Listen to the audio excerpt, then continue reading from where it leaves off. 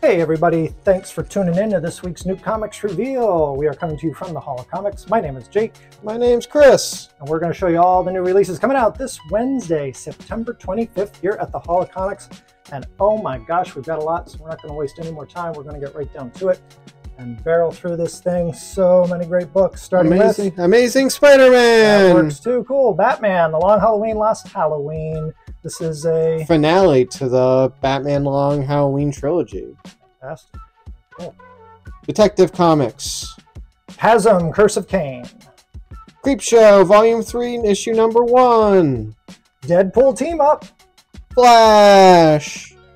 Frankenstein from Image Comics, Issue 2. Green Arrow. Harley Quinn. Hello, Darkness. Lobo, the cancellation special. This is a one shot featuring everybody's favorite uh, main man. The Moon is Following Us, number one by friend of the shop, Daniel Warren Johnson. I just read this last night. It is fantastic. I predict it's going to be our sellout book of the week. I did it with Riley Rossmo, so one of them does half the art, the other one does the other half. But it's all written by Mr. Daniel Warren Johnson, and it's a really great read. Um, really excited for that one. Heyo. Phases of the Moon Knight. NYX. Phoenix. Predator versus Black Panther. Saga. Violator. Really leaned into that one. Violator number one. Action Comics.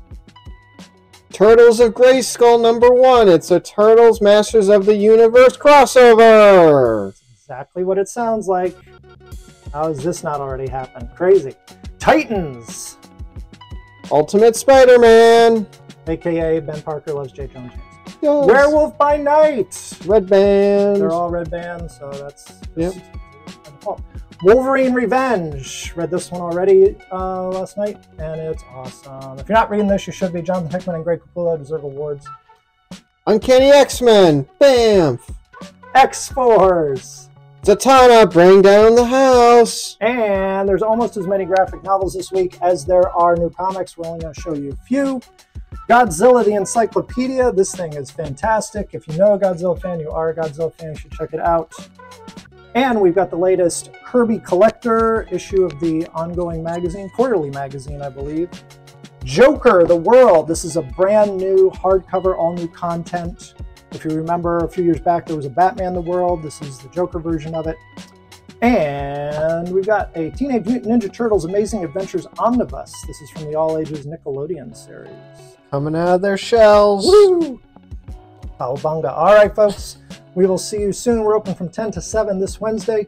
Thanks so much for tuning in. Say goodnight, Chris. Bye. Have a good night.